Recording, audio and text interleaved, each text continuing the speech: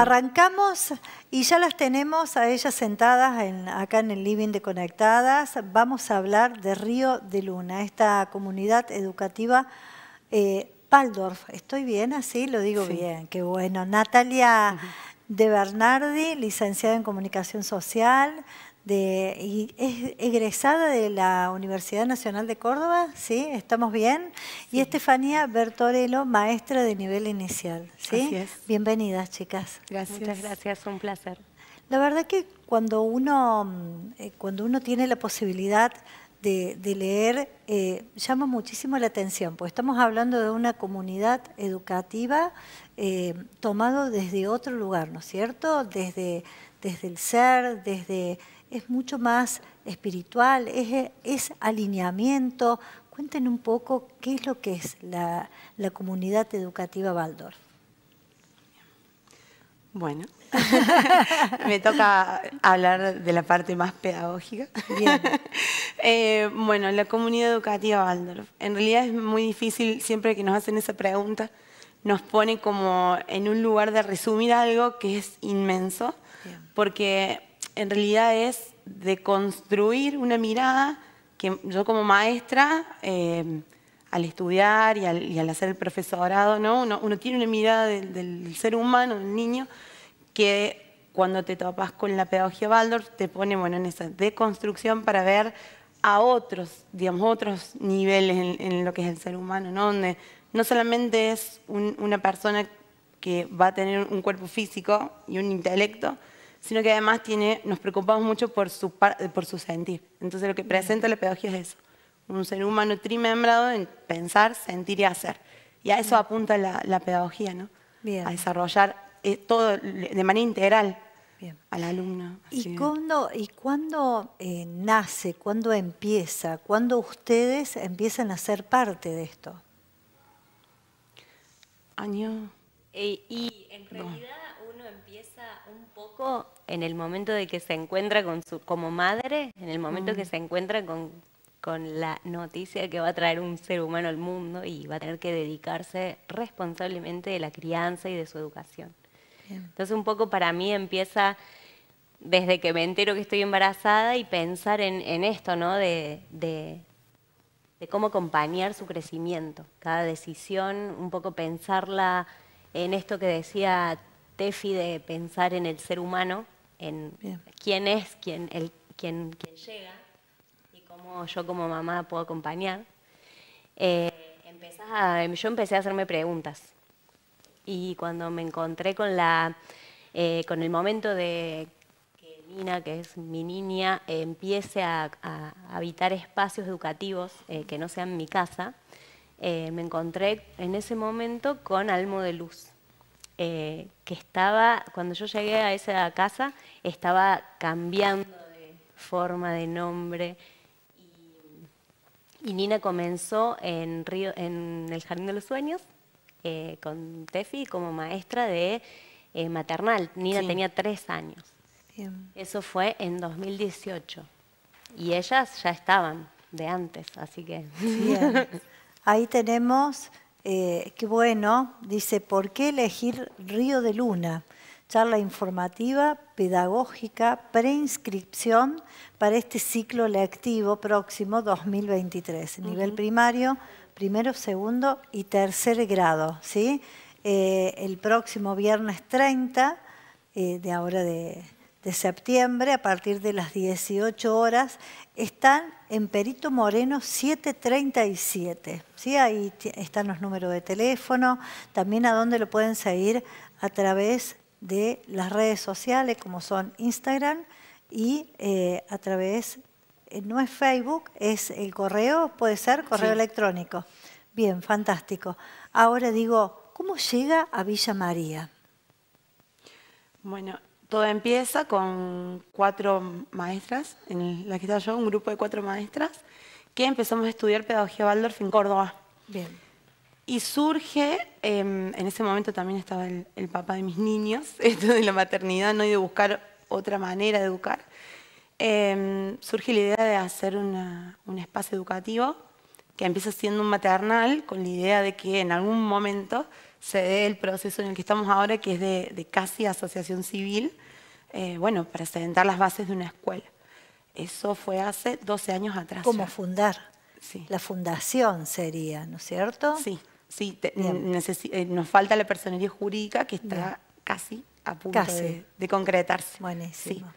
O sea que es un caminito que, que una semillita que se sembró hace mucho tiempo y hoy vemos como consolidado el impulso con el aula de primaria y abriendo otro espacio más, que es el primer grado para el año que viene. O sea, tendríamos primer y segundo grado. Para que la gente entienda también, porque vos decís, una comunidad educativa que está todavía no está fundada. A ver, digo yo, es tan importante lo que ustedes están planteando, porque es la educación con una mirada totalmente diferente, con un sistema, pero fuera de un sistema también, digo, ¿no es cierto? De una integridad o integrar al, niño desde otra mirada. Digo, tiene que ver también con, con la necesidad del cambio, me imagino. Hoy sabemos que la educación está pasando por, por momentos sumamente débiles, donde eh, hay una falta de, empatía, tanto de los papás, a veces también de los, de los maestros, que son los que tienen que hacer la base fundamental. Eh, y seguimos con esto, que el colegio, el aula, el lugar, tiene que ser la segunda casa del niño. Y a veces el niño no se encuentra en esa, en esa parte que tanta necesita. Antes la maestra era tu segunda mamá a donde vos podías llorar, donde vos podías ampararte. Entonces digo, todas esas cosas se fueron perdiendo. La mm. tecnología nos fue volviendo más frío, eh, las personas ya no lo tomaron desde el mismo lugar.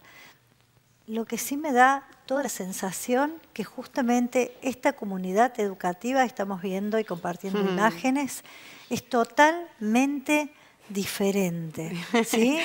Sí. Es sumamente diferente con, ahí estamos viendo gente trabajando, niños estudiando, eh, haciendo cosas totalmente diferentes. Esto es diferente, chicas. Claro, eh, en la escuela no solo la pedagogía es lo alternativo y la pedagogía eh, no solamente se dirige hacia el niño, sino que toda la experiencia de ser parte de la comunidad es educativa, tanto para los niños como para los papás que ahí están em, trabajando y sosteniendo. La escuela existe gracias a ese trabajo, a ese vínculo entre maestras y papás y mamás que entregan de sí eh, el trabajo para sostener la escuela. Porque, eh, digamos, comparten esta mirada del ser humano. Están apostando.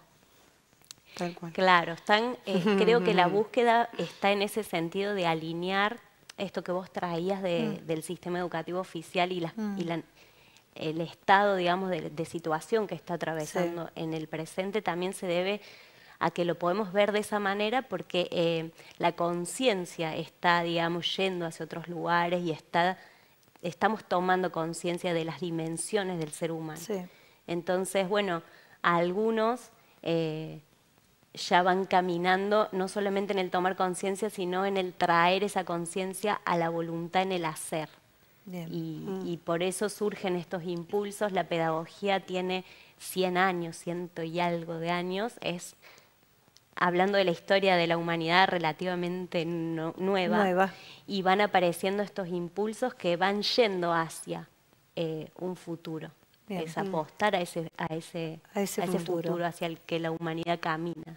Yo digo, a veces nos encontramos, y ustedes seguramente van a compartir esto, con, con el, el lugar, el aula, el colegio, que tiene que ser quien ampara, quien cubre, quien acompaña, eh, el proceso del niño, digo, nos encontramos con eh, violencia, mucha violencia, nos encontramos con la falta de integración de, a veces del niño. Entonces digo, el niño está en la casa, está desprotegido, va al colegio y sigue desprotegido. con respecto a eso, hay una cuestión ahí que es, em, creo que, que, hay una cuestión de falta de información. Totalmente. Eh, lo, que, lo que está sucediendo es que estamos frente a un modelo educativo antiguo con las necesidades que traen los niños hoy. Entonces vemos a un docente para 30 niños, claro. que yo tengo en mi sala 11 hoy, em, y tengo una, maestra Laurita que va los martes y los jueves a ayudarnos. Eh, entonces digo, hay una cuestión en donde las necesidades de los niños han cambiado. Y el sistema educativo está atrasado. Nos pasa a nosotros también como padres. Nuestros hijos vienen con cuestiones que nos encuentran en un lugar de, bueno, ¿y ahora cómo hacemos? ¿Cómo educamos? No es una cuestión instintiva, no es una cuestión que se despierta con la maternidad o con la paternidad o, con la docencia. Esto es algo que se aprende, se estudia. La, antroposofía Waldorf tiene por ahí el estigma de ser una, una pedagogía libre o, hippie muchas veces. Y en realidad lo que sucede es que, muy por el contrario, nos pone en un lugar de conciencia, de preparación, de estudio. De, nosotros formamos parte de, Redes Waldorf de Argentina, formamos parte de, los jardines de, lo que es los regionales de Córdoba, entonces estamos nutriéndonos constantemente para aprender, bueno, ¿quién sos? ¿Qué necesitas? ¿Qué puedo darte y qué que no tengo tengo que desarrollar para estar a la altura de lo que vos necesitas? Ahora lo que nosotros notábamos ahí con las imágenes mm. es la libertad del niño, ¿no? Que tiene que ver con eso, eh, con un sistema educativo eh, también diferente, mm. aprender otras cosas aparte de lo esencial que es la educación. Sí. También tiene esto. Sí. Es una educación hacia la libertad. El proceso del niño termina a los 21 años, en realidad. Nosotros en Jardín lo que hacemos es propiciar la libertad de movimiento, eh, que esa es la libertad en esa, en esa etapa. Pero la libertad en sí es, hasta te diría, un ideal, una aspiración a la que quisiéramos. Ojalá todos nuestros alumnos puedan terminar su formación y ser seres libres. Qué lindo. Que, piensen por sí mismos y que realmente vengan a traer al mundo lo que, lo que tienen que, hacer. Hace falta. Lo que hace falta, hace falta tantas cosas, chicas. Tenemos los sistemas eh, con un quiebre total, siempre lo digo. Eh, ¿A dónde más está este, este sistema o esta comunidad educativa? Aparte de acá de, Villa María. Hay escuelas Waldorf en todo el mundo. Eh, la, primera es en Austria. En, la, Stuttgart. surge ahí y luego se va, eh, digamos, se toma como modelo esa primera escuela en donde em, a Rudolf Steiner, quien, quien es el que con sus investigaciones desarrolla la antroposofía, eh, un dueño de una cigarrera lo convoca para eh, fundar una escuela para los hijos de, los, de sus trabajadores. Entonces él desarrolla lo que es la pedagogía a la que se le da de nombre Waldorf por esta primera escuela, que se toma como experiencia modelo, pero que como estamos trabajando con eh, seres vivos, eh, no hay, eh, cada uno, así como cada ser humano es una novedad y mm. viene a traer algo único e irrepetible, cada escuela también es una novedad y, y viene a traer algo único e irrepetible al mundo. Pero lo que sí eh, nos une es esto que decía Tefi, que es una, eh, la antroposofía aplicada a la pedagogía eh, apunta hacia que el ser humano tenga las herramientas para conquistar por sí mismo la libertad. Entonces, hasta los 21 años, el ser humano vive en la necesidad, necesita en el maternal tiene unas necesidades específicas, en el jardín y en la primaria, y si el maestro y los, y los padres están atentos a cuidar el entorno que satisfaga esas necesidades, eh, va, a darle las herramientas para que pueda lograr esa mm, libertad. Entonces hay escuelas que aplican este, esta pedagogía a lo largo de todo el mundo. Hay algunas escuelas en algunos países o en algunos eh, hasta acá mismo en Argentina, que aún siendo oficiales toman eh, herramientas, porque como decíamos recién, es evidente hoy que nos está faltando nutrir aspectos del ser humano que han quedado, em, eh, lo anímico, lo espiritual, está fuera del sistema educativo actual. Totalmente, eh. aparte porque también hay un quiebre en la sociedad, porque hay un quiebre en la familia. Entonces, yo siempre digo que la familia, que es la base de la sociedad, hizo un quiebre muy importante y la, la, dividió. Entonces, es eso lo que nos pasa con los niños, ¿no? Eh, son víctimas, rehenes de, de, este, de este gran quiebre y que la verdad que se nota, se nota muchísimo. Eh, Nosotros traemos a la familia a la escuela. Claro.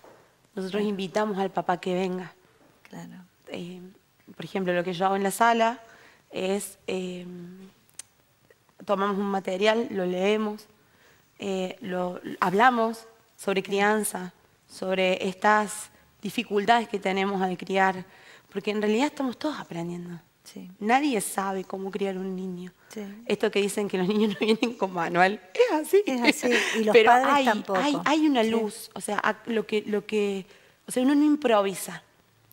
Lo que nos da la, la pedagogía Waldorf es un camino que yo puedo conquistarlo, depende de mi individualidad, pero hay una manera, hay una necesidad que el niño tiene que nosotros debemos atender. Y eso es lo que se hace en la escuela. Y hay un espacio para compartir, hay un espacio de diálogo permanente con, el papá, con la mamá, sobre qué vive el niño en la escuela, sobre qué necesita el niño, cómo estuvo en casa. Nosotros sabemos lo que a cada niño individualmente, sabemos el nombre de sus papás, sabemos hasta el nombre de sus abuelos. Sí, todo personalizado. es, es, es, personalizado, eso es la importancia. Y es comunitario, o sea, estamos criando juntos a ese grupo de niños que está bajo nuestro cuidado. Sí. Eso también es una maravilla. Sí. ¿Cuántos eh, son todos profesionales, son maestros, son todos capacitados? Digo también para que la gente sepa que cuando te llegas a esta comunidad educativa te vas a encontrar con profesionales. No es que fue a la deriva y te vas a encontrar con... No, no, te vas a encontrar con mm. profesionales. Eso es importante. En este momento lo que nosotros priorizamos en la escuela es que las maestras que están estén formadas en pedagogía Waldorf. Eh, yo soy maestra de nivel inicial, eh, maestra Agostina está terminando su profesorado de GB. Eh, después tenemos eh, a Fiamma, que es psicopedagoga. Tenemos a Romy, que es la profe de inglés. ella le da inglés a los niños de primaria. Y después tenemos a la maestra nueva que va, a venir para el año que viene, que es profe de arte.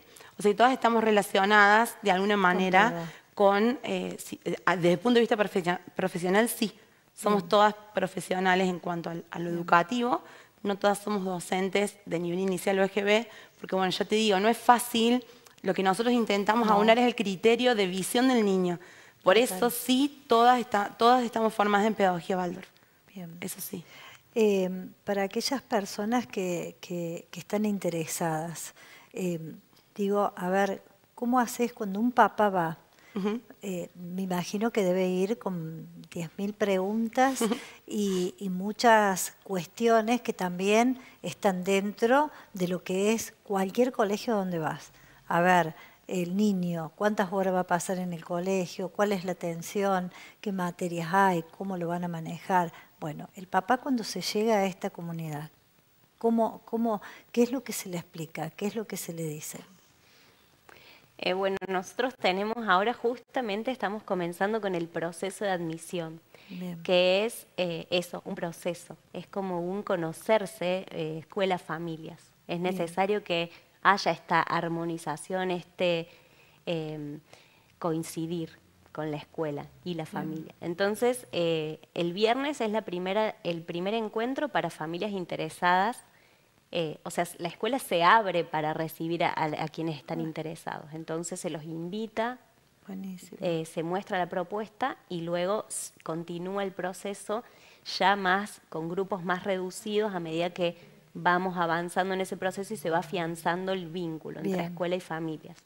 Y bueno, y luego, em, según ese grado de armonización entre entre sí, bueno, yo en mi casa, eh, yo busco esto para mi niño, yo en mi casa ya estoy dando algo que tenga que ver con esto, eh, es un poco, como es relacional y vincular, es un poco, sí, eh, este es nuestro lugar, es como que eso sucede, pero no porque yo lo cuente o, le diga nada, sino porque lo invitamos a, vivir una experiencia de lo que sucede eh, dentro de la escuela y lo que sucede en el compartir con la comunidad.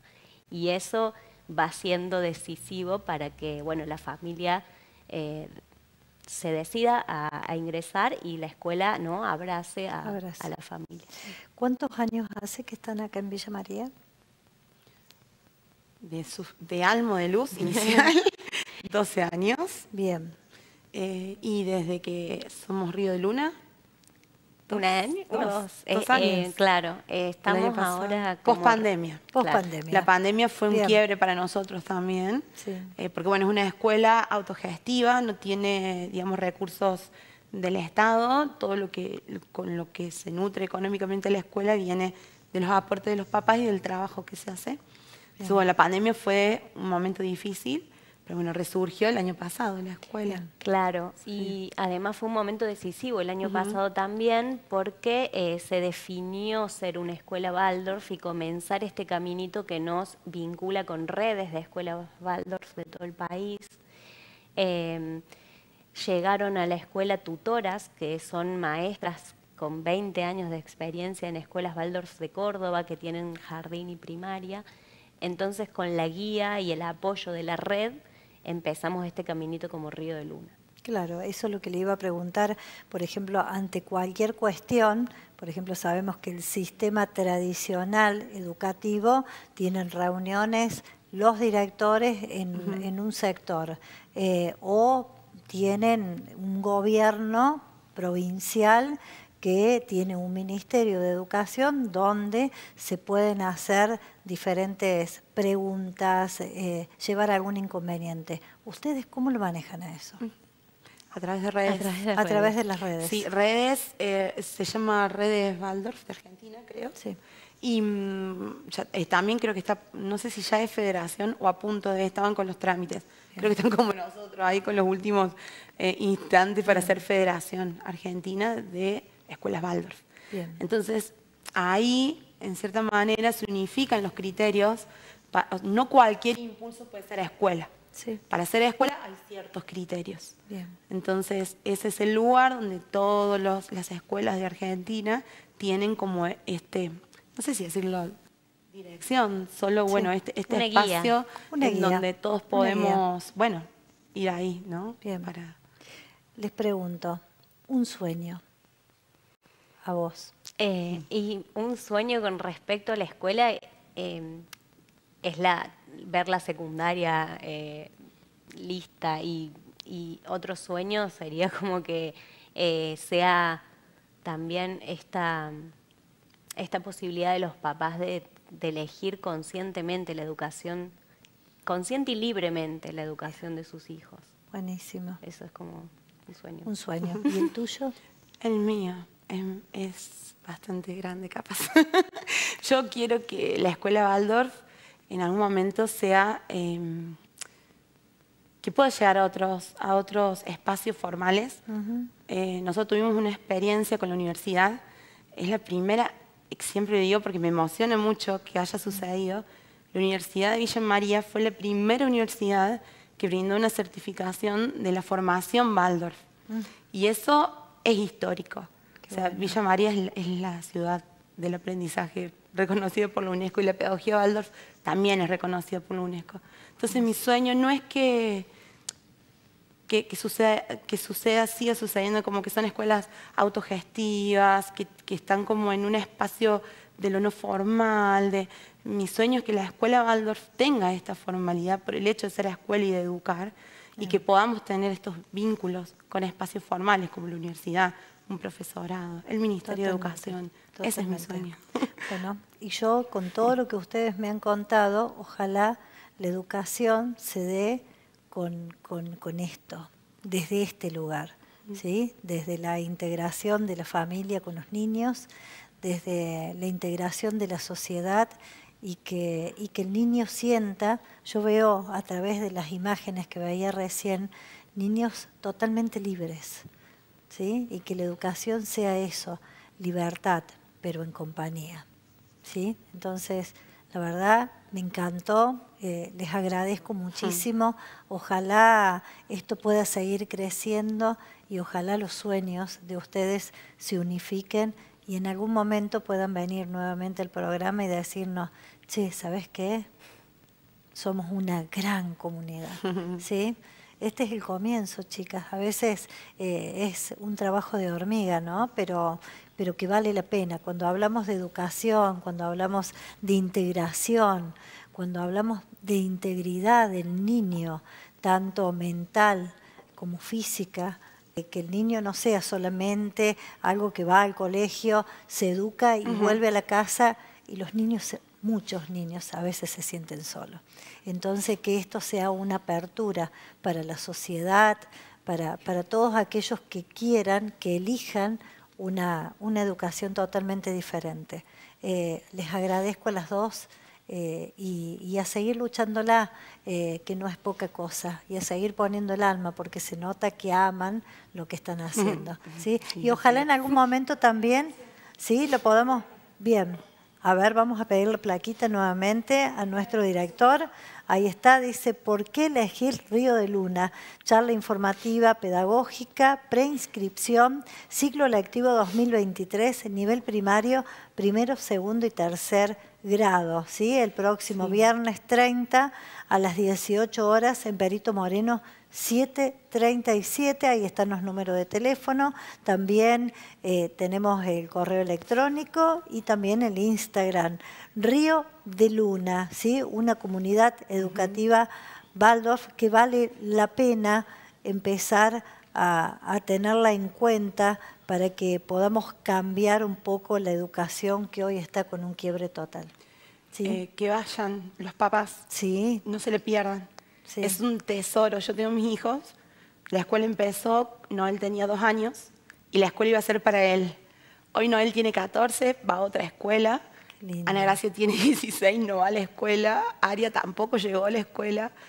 Y realmente tener un espacio educativo como este en la ciudad es un tesoro. Así que vayan, escuchen, conozcan la escuela, eh, conozcan las maestras, conozcan los papás de la comunidad. Em, es muy bueno eh, acercarse y vivenciar, como decía Nati, la experiencia de la escuela, así que, que no se le pierdan. Gracias, gracias. gracias a, Muchas gracias. a ustedes por invitarnos y para que esto se comparta y llegue a aquellos que, que tenga que llegar. Bien, que se haga la difusión, ¿sí? Que la difusión es todo para saber de qué estamos hablando. Gracias, chicas. Gracias. Muchas gracias. Gracias. gracias. Con ustedes acá en el living nos despedimos y le decimos, por supuesto, a cada uno de ustedes los esperamos mañana a partir de las 19 horas, bien, acá en Conectadas. Chau, chau.